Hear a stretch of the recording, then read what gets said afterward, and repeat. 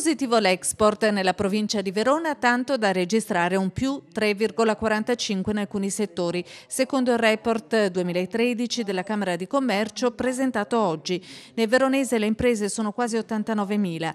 Nel 2012 si sono iscritte al registro delle imprese in 5.842, mentre ne sono cessate 6.129. Beh, I settori che vanno eh, bene sono quelli che da tanto tempo mantengono queste posizioni, in particolare per quanto riguarda l'agroalimentare, per quanto riguarda il vino e devo dire che eh, siamo stati molto contenti di vedere come anche il marmo e anche il mobile hanno recuperato delle posizioni.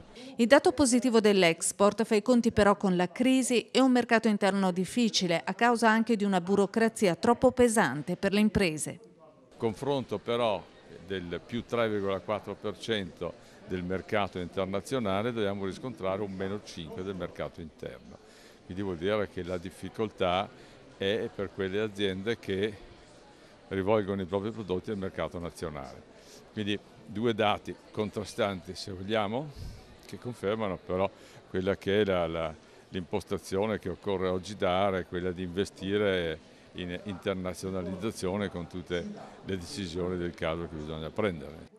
Cosa vuol dire fare impresa in tempo di crisi lo sanno alcuni giovani under 35 che hanno portato le loro esperienze all'incontro, come Enrico, socio in un'attività che vende le grise, le galline della Lessinia, e Federico con una società agricola in Valpolicella che segue tutta la filiera del vino. Avete avuto anzi delle agevolazioni?